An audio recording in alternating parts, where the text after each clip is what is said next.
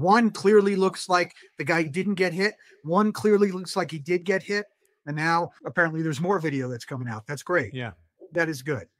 But one of the ways that we test whether uh, eyewitness testimony is reliable is by wrongful convictions that are overturned by DNA. DNA is infallible. It's either there or it's not there. It's either that person's or it's not theirs. Okay.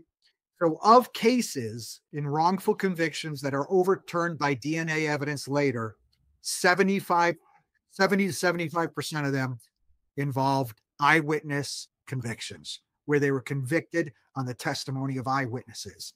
Which was wrong. They were wrong 70 to 75% of the time where DO, DNA overturns a case. Is very important. Yeah, and it's not it's not saying the people were bad, they're evil. Some of them are. Yeah, there's there's certainly people that are willing to go into court and lie, but that's not the vast majority. The majority of people are just wrong in their perception. Officers can be wrong in their perception, in their immediate perception in that moment, and commit deadly force wrongfully because their actions were not based on reality. It still doesn't mean they should be convicted because it's only in that moment that that perception matters.